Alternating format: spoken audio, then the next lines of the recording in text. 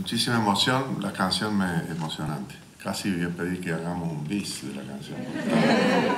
Qué bonita, qué bonita. Este, espero que se han preparado, no todas, algunas trajeron la letra, no la saben. Intentemos ahora cantarla con, como nos pide la, directora, ¿cómo se llama? Cristina, Cristina, ¿dónde está la Cristina? Pues ya está. Que la sepan primero de memoria y después le pongamos polenta. Ah, lo vamos a hacer, lo vamos a hacer. La... El otro día miraba un programa de televisión y me quedé enganchado porque unas mujeres habían pintado un mechoncito rosa y eran las que luchaban contra el cáncer de mamas y pedían a las mujeres que se hicieran los, estudios. Bueno, esta historia bueno, tan dramática que acosa a, a las mujeres, ¿no? Y a temprana edad. Y me pareció bárbara la idea del mechoncito rosa, porque, bueno, eh, claro, cuando uno aparece con un mechoncito rosa, ¿de qué, se trata ese mechón rosa? Y bueno, y cuenta, y, mm, multiplica, y va de, haciendo una, una, suerte de militancia entre el, este, el, mundo que, que, descuide ese tema, que nos recordaba siempre la señora Tita Merelo, luchadora de este tema. Bueno, y, yo reflexionaba que, qué pasa si me piden a mí que me pinten chocito rosa. Y bueno, me animo, me animo, no hay problema. No hay problema.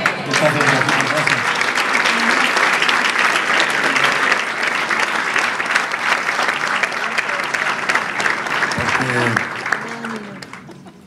porque el tema es cultural, cultural. Yo cada vez que hablo de este tema, lo hablo con miedo porque se me escape una palabra incorrecta pero no saben el miedo que me da. Yo puedo hablar de cualquier tema me largo, total, soy medio atrevido. Pero de este tema, el temor a una palabra incorrecta, porque he sido formado, como nos pasa creo que a todos o a la gran mayoría, hemos sido formados en nuestra casa, en nuestra parentela, en nuestro barrio, en la escuela, en la secundaria y en la universidad. Eh, con, con toda una cultura ofensiva a la mujer. Y bueno, no saben el dolor que eso provoca y la...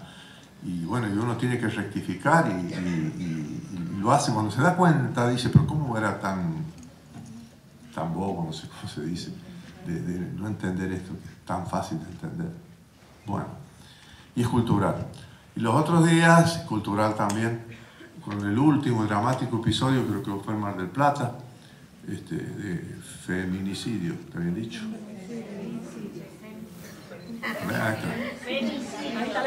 Por los días yo leí feminicidio también. Ah, bueno. Ah, femicidio. Bueno, el último drama, ¿ves? El problema que el lenguaje. Ya está. Bueno. Femicidio. Además se está formando el lenguaje, porque es tan cultural el tema que hoy se está formando y se está precisando de qué se trata. Este, bueno, e-, ese tema del femicidio en Mar del Plata, que arrancó en la, en la, en la red, una huelga el miércoles. Y si se animan, planteen la huelga el miércoles. Y si,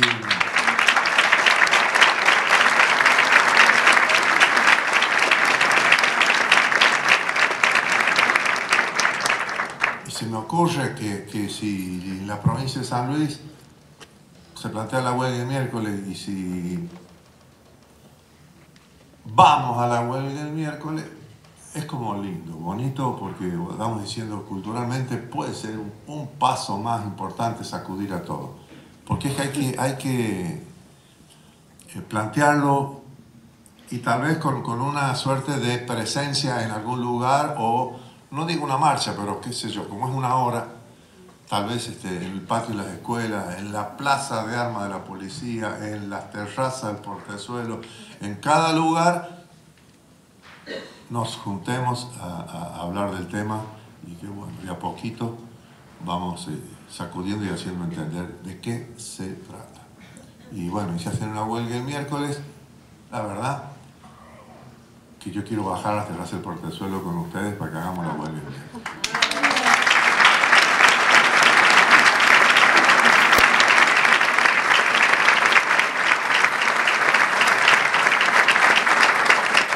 Y nos estamos olvidando, no sé si olvidando, quedando atrás, no sé si está hecho, qué punto de avance tiene nuestra eh, eh, posición acerca de que el, hotel de, perdón, el hotel, el, hospital de Potrero Funes eh, sea de cirugía estética y de atención al colectivo trans, que habíamos quedado que iba a ser así, no sé qué grado de avance tiene, si estamos atrasados, por favor, háganos acordar y lo hacemos rápidamente rápidamente, antes de fin de año, tenemos que tener, ¿está avanzando? Bueno, pues tenemos que lograr lo que antes de fin de año ya se, se estén atendiendo. Este, este colectivo es uno de los más vulnerables, tiene una expectativa de vida de 47 años, o 40, ¿cuántos? 40. 40, 40 años. No sé si entra la palabra genocidio ahí. Eso es lo que estamos haciendo. Paremos la mano, basta. ¿Eh? Hagámoslo, hagámoslo. Basta. Bueno, gracias Fabiana.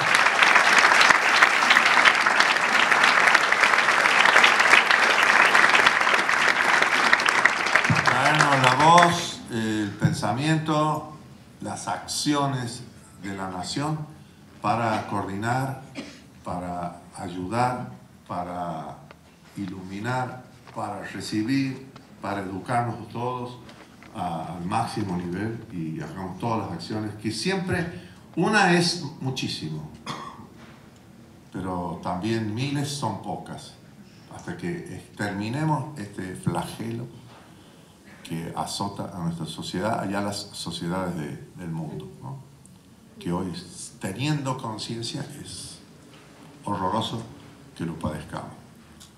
Bueno, muy feliz de la canción, qué bonita. ¿Y por qué no la escuchamos de nuevo? ¿Eh? Gracias.